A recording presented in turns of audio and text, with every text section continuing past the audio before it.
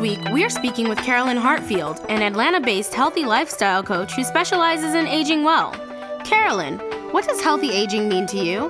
Healthy aging means to be able to enjoy your life, to do those things early on so as you age, whatever age you are, you're able to do all of the things you want to do. You don't have any real constraints. And how do you limit constraints?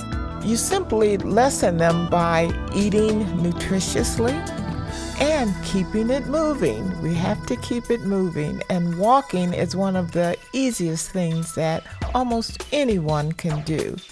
Thanks, Carolyn. This is Erica Monet Brown. Black Health Now.